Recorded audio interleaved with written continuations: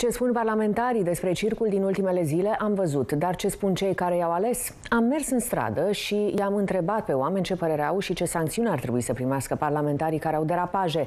Unii sunt revoltați și spun că politicienii ar trebui să fie un exemplu de conduită. Alții însă consideră că de multe ori limbajul violent și agresivitatea sunt factorii care pot schimba lucrurile în bine. Am rugămintea la... Dom domnule Simion, luați mâna! Luați mâna de pe domnul... Che...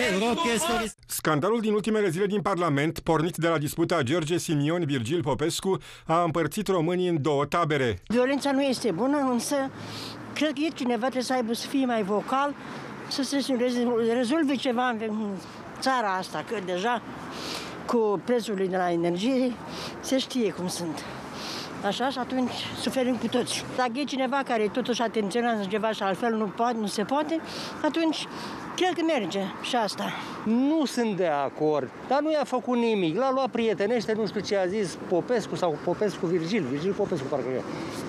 Uh, ești un hoț, ăla l-a făcut prost, Adică și unul a zis una și una a zis cuvântul agresiv și ce înseamnă? Adică îl lovești. Dar nu că a pus mâna, i-a spus, a, a pus mâna pe el și nu știu ce i-a zis. Există însă și români care s-au săturat de circul dintre politicieni. Vor ca liderii lor să fie un exemplu de conduită. Părerea mea e că trebuie să fie amendați, adică trebuie să aibă o trebuie să fie disciplinați în primul rând și trebuie să dea un exemplu celor din celor care îi văd. Pot fi chiar și mai dure. Unul care are bani mulți își poate permite să plătească. Dacă dă 5.000 de lei, nici nu interesează. Până se decid singur ce atitudine trebuie să adopte în Parlament, aleși agresiv sau cu derapaje de limbaj trebuie să respecte regulamentul. Cine nu o face, e taxat la bani.